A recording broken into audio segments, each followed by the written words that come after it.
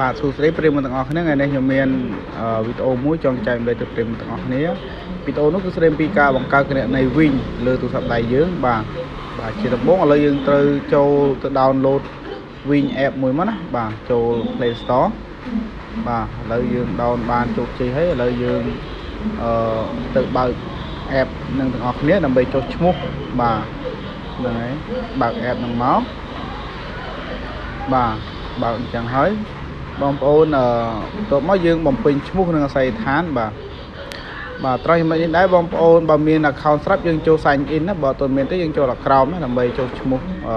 គណនីវិញបាទបាទហ្នឹងហើយបន្ទាប់មកយើងដាក់លេខទូរស័ព្ទយើងមកបាទងាយងាយបងប្អូនណាបាទហ្នឹងហើយយើងដាក់លេខទូរស័ព្ទយើងដើម្បីទទួលបានលេខកូដ6ខ្ទង់ដើម្បីឲ្យ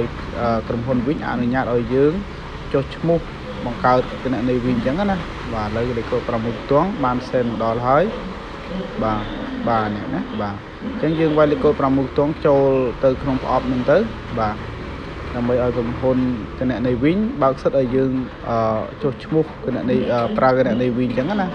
បាទបន្ទាប់មកត្រង់នេះបងប្អូនបំពេញគណនីសំទុះបំពេញឈ្មោះនិង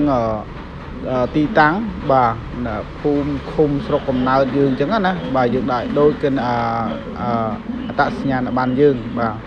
ដើម្បីបញ្ហាគណនីយើងជាប់គៀងអីយើងខលទៅស៊ូក្រុមហ៊ុនអញ្ចឹងក្រុមហ៊ុនស៊ូពលមានយើងហ្នឹងបាទស៊ូពលមានដែលយើងបំពេញនៅក្នុងអត្តសញ្ញាណប័ណ្ណហ្នឹងទៅមកបងប្អូនមកបន្ទាប់ពីបំពេញភូមិឃុំហើយស្រុកខេត្តហើយយើងគេឲ្យយើងជ្រើសរើសគណនីខ្មែរឬក៏ដុល្លារអញ្ចឹងបងប្អូនអាចជ្រើសរើសបានតាមបងប្អូនចង់បានបាទទៅមកយើងនិចទៅមុខទៀតត្រង់នេះដែរបងប្អូនគឺលេខកូដនេះគឺសំខាន់ណាស់ណាបាទលេខកូដនេះគឺសំខាន់ត្រង់ថាយើងដាក់ដាក់ដកលុយគឺគឺយើងប្រើលេខកូដហ្នឹងញឹកញាត់ពីងគេអីចឹងណាអញ្ចឹងលេខកូដហ្នឹងបងប្អូនត្រូវចាំបាទតមកទៀតយើងលេខទៅហើយបាទតមកទៀតគឺដល់ត្រង់ចំណុចនេះដែរបងប្អូនអឺយើងយកពាក្យខាងលើដើម្បីអនុញ្ញាតយើងប្រើគណនីបានអញ្ចឹងណាបាទ តមកនេះយើងបំពេញលេខកូដយើង4ខ្ទង់មិញមិញមកបាទបាទតមកគឺយើងបំពេញបានជោគជ័យហើយណាបាទ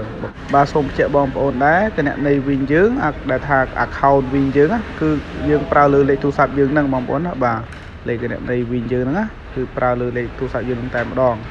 អញ្ចឹងបងប្អូនកុំឆ្ងល់ថាចុះបង្កើតបានយ៉ាងហើយចុះគណនីវិញយើងមួយណា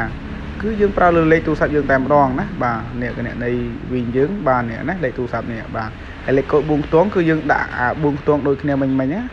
បាទឥឡូវជាចុងក្រោយខ្ញុំសូមអរគុណបងប្អូនណាសង្ឃឹមថាបងប្អូនមើលវីដេអូនេះហើយធ្វើបានជោគជ័យបាទសូមអរគុណ